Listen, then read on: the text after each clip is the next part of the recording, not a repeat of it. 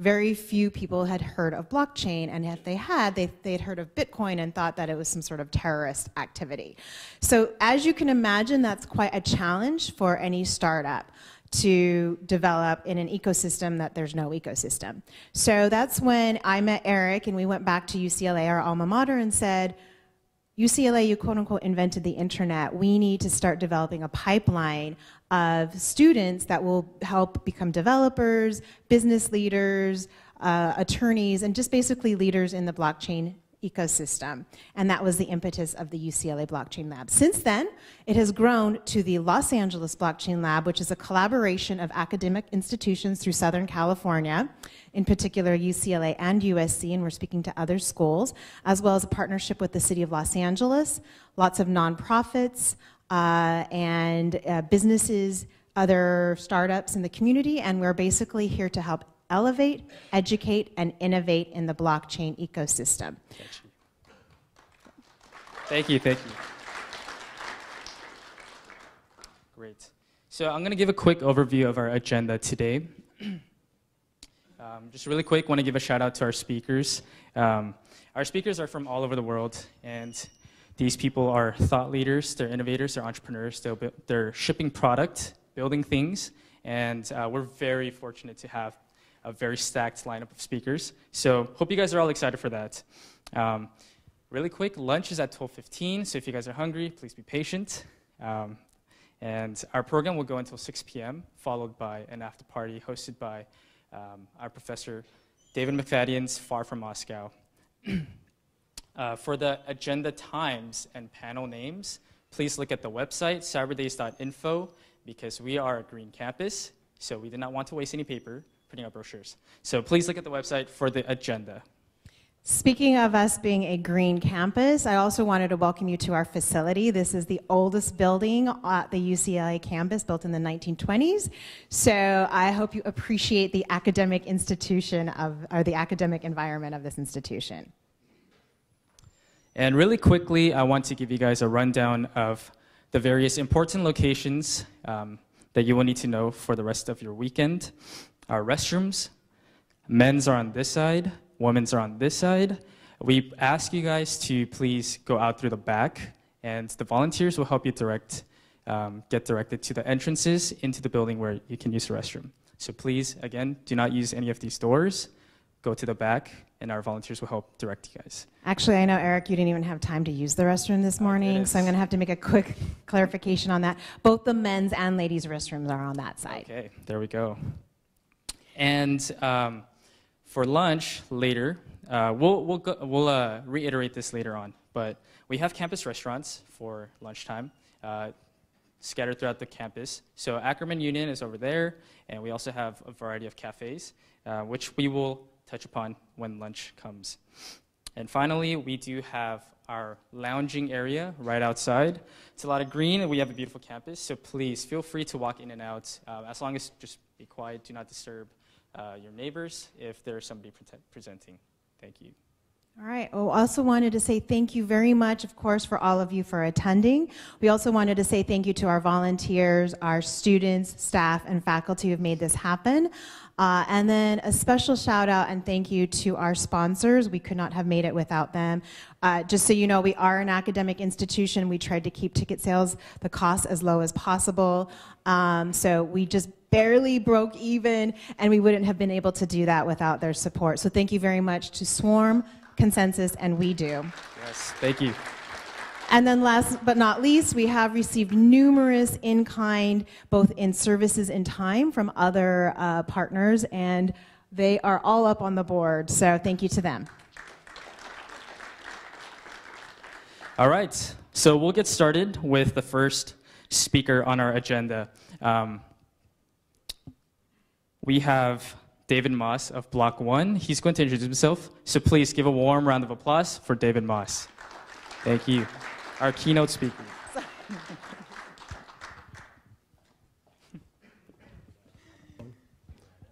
hello, hello.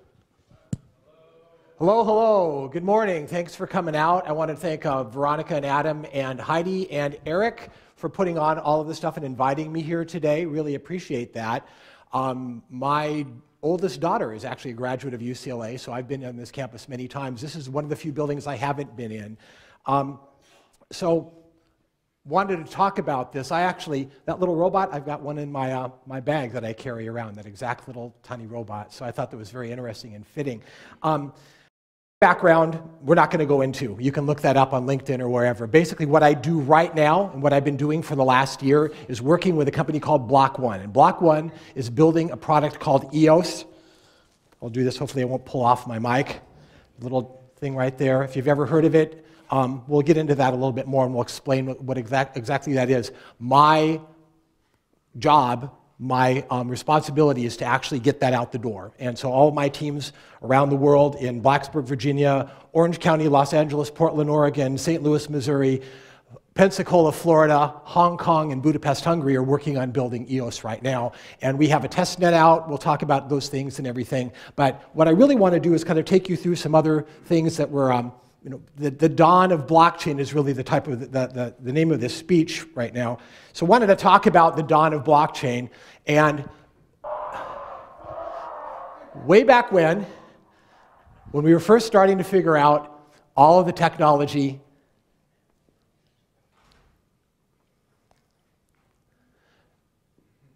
we came to this. Okay, wait a second. That's probably a little bit too fast. Um, this is a nice diagram. I encourage you to look at some of these things and talk about the blockchain and how it's put together and how a block becomes part of the chain and how it becomes irreversible and all the other stuff. But we've got a little bit of an issue here is that for a lot of people, how many people know what a blockchain is? Can honestly tell me, wow, that's good. Okay, how many people are cryptocurrency investors? Okay, a couple of people, um, a fair amount of people, that's good. Uh, and how many people have actually programmed uh, something on the blockchain? You got a couple of people there. So this is when I talk, when you look at that, that, the reason I like to show that thing from 2001 is you talk about the evolution of things and where things happen. You see a bone going up, and all of a sudden we're in space. That's the perception that people have about what's going to happen with the blockchain, right? We talked about the blockchain. Wow, there's Bitcoin out there. Wow, there's Ethereum out there. Bam, it's all good. We got a blockchain. We can talk. We can save the world now. The world, ice cream is going to be on the blockchain really soon. I'm just absolutely sure. Okay, well, that's not really what's going to happen. So, here's a general definition of a blockchain. If you're looking at it, it needs to be globally accessible. You need to be able to have decentralized, transparent, single point of failure, no single point of failure, not controlled by a single entity. Those are all great aspirational things. We'll talk about what actually the reality is of some of those things right now. But first of all, how many of you know what a ledger is? Okay, good. So, how many of you actually are accountants? Well, we had a couple. So, so we're going to talk about ledgers because this is all based on ledgers. It's all based on ledgers. So let's talk about what a ledger is. Okay, this is actually this actually really happened years ago, many many millennia ago. People took their their cattle that they wanted to sell and they kept track of how many cattle they had sold and they made little marks in clay. And basically, this was single entry accounting. This is real. There are Sumerian tablets with, um, using a number of different uh, cuneiform uh, writing that have all that information on them. And when they were baked, they became a fact.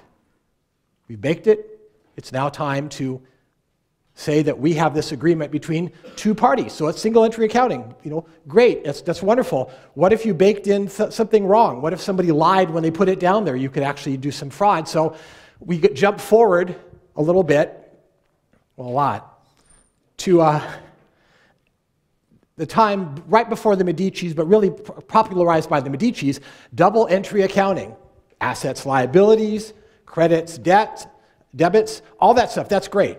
This is really exciting stuff, right? This is accounting, it's not exciting stuff.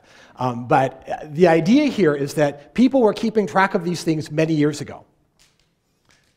Double entry accounting had its issues. Everybody has probably seen plenty of movies and TV shows where somebody said, yeah, well, there's this one set of books, but then there's the real set of books. Okay? That's really what happens all the time, is that people are doing all sorts of fun things with their accounting. Okay, so double entry accounting. These are actual double entry accounting um, tablets. This is how people kept track of stuff for years. That's wonderful. What did it do? Well, you had an outside auditor who, of course, could be bribed But you had an outside auditor that could actually keep track of the ledger and say, yeah, yeah, that looks good. That looks like that's how much money they made. Yeah, that makes sense.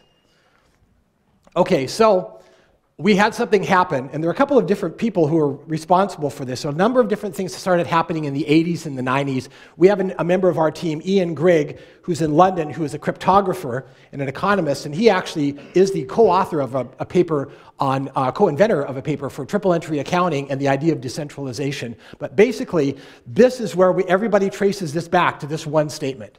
This person said, wow, if we had a database that was on a spoke and a hub, not just the network on a spoke and a hub, wouldn't that be cool? Okay, why? Why is that even cool? So, if you're looking at it, it's an irreversible double entry. A blockchain is an irreversible double entry accounting ledger that happens to have witnesses decentralized. Okay, what does that mean? A witness. Well, somebody says, Yeah, I'm an auditor. Yeah, that's good. What if you had witnesses that were automatic? What if you had decentralized witnesses around the planet that each of them got a copy of that block, wrote it irreversibly, everybody agreed that that was indeed the block that was written? Now you've got a blockchain and you've got irreversibility and you've got transparency, you've got all the stuff that you need to be able to have. What's that being used for right now? Well, Bitcoin. Bitcoin's back up today for all of you, those of you who were worried about it when it dropped down to the $6,000, $7,000 mark recently. Um, but it's back up, that's good. But that was the first real entry, the first real use, practical use of a um, third party ledger with decentralization. We'll talk about the fact that, well, it's not that decentralized and why. But it was the first real use of it as, as, as a cryptocurrency. That's fantastic. I'm not sure if you, you all um, know that in the Genesis block, the first block of Bitcoin, there is a hidden message from Satoshi, Satoshi, wherever you are, anyone, is Satoshi in here? Is, this, is, is Satoshi the CIA? Is Satoshi the NSA? I've heard all those rumors. Dan Larimer, who I work with, actually had a lot of conversations back with Satoshi when whoever that was actually was online and talking about this stuff. And basically, that was the whole idea of how do we create a cryptocurrency. This one had mathematical proofs. There's only 21 million of them. It gets harder and harder, and it takes up an extraordinary amount of energy. But hey, you got cryptocurrency. So there we go, triple entry accounting. Okay, so with Bitcoin, we proved the concept. Now, along came Ethereum. Now, Ethereum was from a also from a white paper. People are writing how you go about doing this stuff. Ethereum introduced a really interesting, cool concept, which is proving the idea of a smart contract. Back to double entry accounting, back to single entry accounting. One party, another party, I'm selling you 10 cattle, I'm buying 10 cattle. Now it's recorded, it's permanent. That was the blockchain, that was what was going on. So Ethereum started allowing you to do that. Um, what's next? Well, now we start to look at performance because there's a little bit of an issue with some of those things uh, right now. Um, when you're putting together a smart contract, well, um, these are my friends at Everipedia. You guys familiar with Everipedia? You know who they are? Everipedia is a um, is actually a Wikipedia built on the EOS blockchain that we're building. But basically, this is a really long explanation. You can read it if you want, but the basic idea is that a smart contract is a ledger between two parties that's irreversible that goes on the blockchain. It can get more or less complicated. Some of them are very simple. Move currency from this account to this account. Credit, debit. Sound familiar? Okay, that's basically all we're doing. Now, it gets much more sophisticated because smart contracts can trigger many other things. They can trigger um, adding somebody to a, an account for three days, and after the three days, they no longer have access to the account, and they can trade up to 10 Bitcoin. You can put all those kinds of things in a smart contract, and so why is that important? Well, because we want to be able to put this out there for transparency in a number of areas. Banks, financial institutions in general, government institutions, all those things need a certain amount of speed to be able to make it work, right? If you're going to be doing that, if you, the number of Facebook likes, if you take, take a look at that, right now there's 100,000 Facebook likes. Actually, it's 52,000. That's actually, this slide is a little bit old now. Um, it's all of, I think, four weeks old. So um, it, things are happening even faster. So here's the actual speed three transactions a second for Bitcoin. What Bitcoin primarily does is just allow you to buy and sell Bitcoin or create Bitcoin, but it runs at three transactions a second. um, that would be intolerable for anybody trying to run an actual application of any kind. 30 transactions a second. I'm being liberal here with um, Ethereum because actually, you, all, you guys all heard about CryptoKitties? How many of you heard about crypto? Okay, CryptoKitties, when we actually launched our testnet the day after CryptoKitties ki almost killed Ethereum.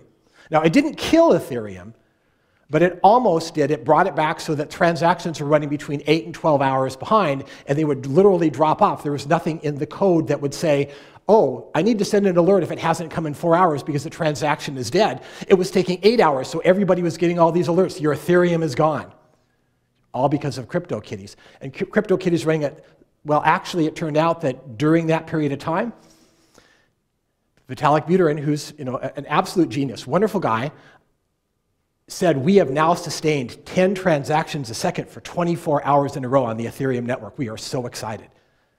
Okay, that's not going to work either, is it? So, what we're looking at is over a period of time, I'm going to focus for a little bit on where this came from, where EOS came from, and I don't want to overemphasize the idea of what EOS is and what Block 1 is. I'm talking about where we fit in the overall ecosystem. But back in 2013, Dan Larimer decided to come up with a, a, an exchange called BitShares. He did that as a reaction to Mt. Gox. You guys familiar with what happened with Mt. Gox? Basically, it was a wonderful exchange until somebody walked off with hundreds of millions of dollars of Bitcoin. It was never found again. But that story isn't even over yet. People are slowly recovering them because you can replay the blockchain. That's the idea of the blockchain. So it was the introduction, by the way. I want to talk about that decentralized autonomous organization. That's what these are, decentralized. We're calling them now decentralized autonomous companies. But Dan also launched um, BitShares. He also launched a thing called BitShares 2.0, but then also Steemit. And Steemit was essentially, and still is essentially, um, a very small version of Reddit on the blockchain. But all the people who participate in Steemit and write things, they don't have to um, even understand that there's a blockchain underneath it. But there's a whole set of smart contracts and rewards for people who are participating in that project. So that's the foundation for all of those things.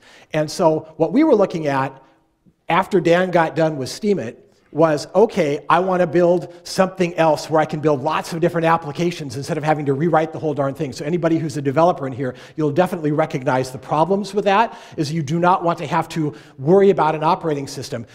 I wouldn't want to worry about Mac OS X or iOS or Android or anything like that. I don't want to build the darn thing. I want to build applications on top of it. That's where we need to go for all of this. And so what we believe is that there needs to be an operating system sitting inside of the blockchain so that people can add that to their application. Blockchain is a service. You can write your app, you can write your information, you can send your ledger information, you can get information back, you can store it on a, uh, on a ledger, you can do whatever you need to do without having to write all that yourself. Now, there's a lot of other companies that are building various versions of this, Dan Larimer just happens to have architected the three previous ones himself, and so there's a lot of stuff that we've been doing. A lot of people have said, Are we using the code that, that came from BitShares and Steemit? And no, we're, we're using a little tiny bit of it. We've written, we have refactored and rewritten so much stuff at this point that I barely recognize the original code. Um, so that's the idea of an operating system. What we did was we decided, well, we needed to build that operating system EOS, we decided let's put all the pieces together, let's focus on an operating system, and we started building something called EOS.io last May. Roughly, we started our token distribution then. I'm not going to talk about the token distribution or any of those things. So the fact, even, bringing it up is probably more information than, than I need to put on there. But what we did was we decided that we built a blockchain operating system very specifically so that we would have the ability to build applications. Simple as that. We're actually building one application right now for identity and attestation that um, it's in the early stages, but we believe that that's where a lot of these things are going to come from over time. But essentially, that's what we want to do is we just want to have a secure blockchain operating system. So when we're putting that together, we need to be able to have some fundamental things. We, like any other operating system, those of you familiar with working with an operating system and getting down in the core there, you need to have a bunch of fundamental things that are already there. And so we're looking at some of those right now. We're talking about inter-app communication, scheduling, all those things are already done. They've been out in our testnet since December. We're adding new things all the time. We're working on a, a few new things there, but the idea is, is that we want to have an operating system where you don't have to worry about that part of it. You can build applications. I'll get really techie on here. Everybody who, who in here has heard what a loosely coupled architecture is? Okay, I got a couple people. Okay, we're building this so that all those applications out there that everybody is currently using, well, you can plug in this part of the blockchain and still be able to do the other things you need to do. But now you've added transparency and irreversibility, and you've got the stuff that you can do for a blockchain. That reduces friction in the marketplace, it reduces friction for transactions, reduces the cost of transactions. And so, a little bit deeper, we built this to be you know, literally to have its own governance. One of the things that we're doing is we talked about Bitcoin. Bitcoin is decentralized, right? Right now, as far as we know, there are only three major groups that are controlling what's going on with Bitcoin as far as the decentralization. Three major mining organizations. Everybody else is getting coins here and there. Ethereum, maybe four. What we're doing is we're doing 21 independent block producers. We've done the math on this, and you can go into all of the, the lovely things like Byzantine generals, um, uh, problems that you have to solve for algorithms on this. The basic thing is 21 block producers. 21. So that is real decentralization. So that's what we're putting together, and we actually have block producer nomination, we have voting, we're going to embed a constitution in every block, and the constitution is something that can be used in the future for arbitration and identity and attestation so now you're starting to see okay, wait a second, this sounds like more than an operating system. And, and, and, it is. And so, one of the things you'll notice up there, and I kind of sneak this in network emission allocation. What the heck does that mean? Anybody know? Want to give a guess?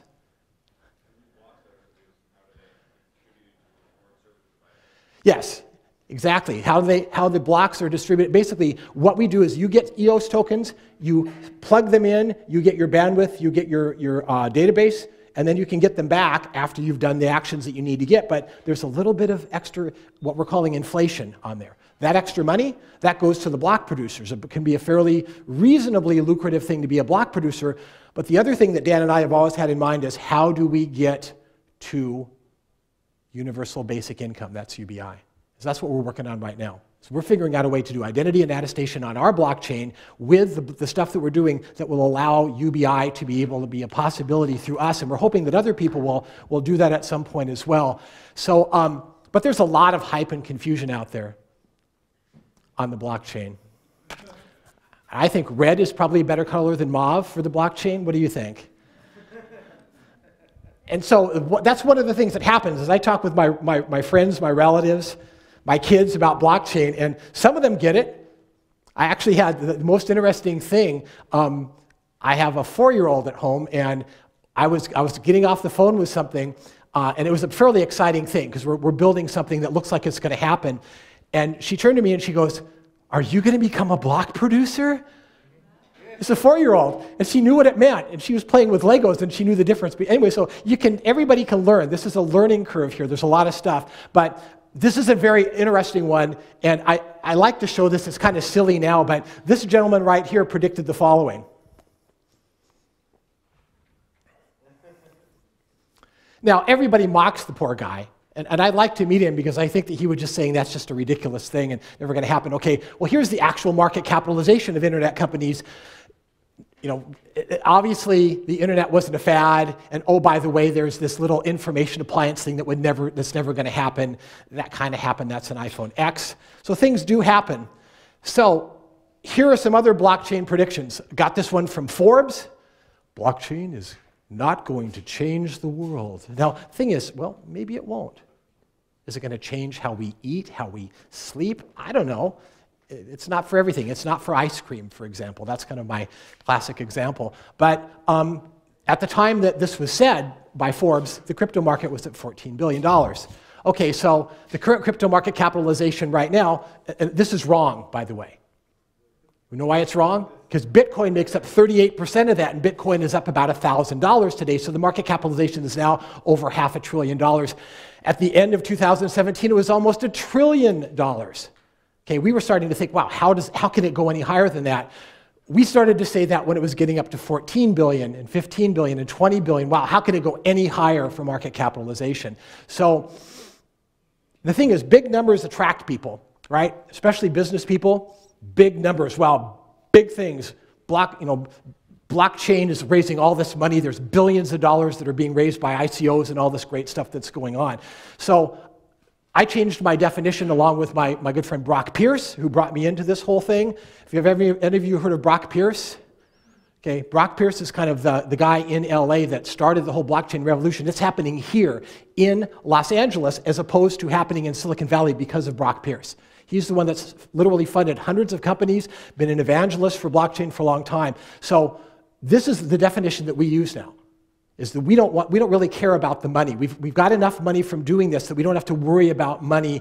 What we're really focused on is how do we affect lives? How do we make things better for people? So this is the new definition, as far as I'm concerned, about billions, billionaires out there. So um, how are we doing that? We're giving the software away. This is a really different model. Our goal is to build this open source software. We're putting it out in various test nets. We're going to release it on June 2nd at 9, I think it's 9 a.m. Is that when the token distribution ends? We've got to do a bunch of little prep things after that. But we're not releasing it. We're giving it to other block producers who will make money running this. So there'll be 21 independent block producers. And we're going to have identity, attestation, arbitration, and universal basic income all baked into the core of this, but we're not running it. We're going to instead take the money that we have that we've taken in, and it's considerable. You can go look it up. I don't want to talk about it here, but we're going to take at least a billion dollars of that and turn it around and give it to the developer community. So there's extraordinary amount of things going on. There are all sorts of different applications that you can use to make this work. They're in plenty of, plenty of places. Everything in the blockchain is going to move up. Um, I wanted to, let's see, where's the, uh, right here? Is this us? There, there we are. We're very small. We're just right there. This is a big, wide world. You're going to be talking about this over the next couple of days with all sorts of fantastic people that are doing all the stuff that they need to do to be able to make the blockchain work. And th- that's why you're here. You want to find out more about it. You want to be a part of this community. You want to be a part of everything that's happening. And that's how big this is already and how much things, how many things are going on. You're going to learn a lot more over the next couple of days and meet some fantastic companies. I'm so glad ConsenSys and other companies are here. Um, there's a, so much going on. There's so much to get excited about in the blockchain right now. And is it going to change the world right now? Uh, is it going to change the world over the next 10 years? Yeah, yeah, it'll change the world like any other revolution. You don't just throw a bone up in the air and it automatically becomes a spaceship. You don't just say, I've got a blockchain operating system and you already have peace in the world and you're already helping people to get propane and other things less expensively because you figured out a way to do peer to peer. So, this is basically um, um, the, Dan, I, Dan and I, who work together to build this, we basically say what we want to do is find free market solutions to secure life, liberty, and property for all. So that's the underpinning of what we're doing with the EOS blockchain, and many other organizations are joining us in that, that um, approach. And I really want to thank everybody for coming out today. I hope you learn a lot more in the next couple of days about the blockchain. And um, uh, I have some contact information if you want to take a picture of this. If you want to get a hold of me and um, ask any questions, there's some other things out there. I've added VC at Block.one. We already have half a billion of our funds available uh, that we're taking uh, applications for, for people building applications on the blockchain. And I encourage you to learn. Go out there and learn and enjoy and see whether or not it's something that's for you. But I have a number of people that I know who've gone all in on the blockchain for everything. Me too. So, anyway, thank you so much for having me today and have a great rest of your day and tomorrow. Yeah, yeah, that was perfect. No, that's great.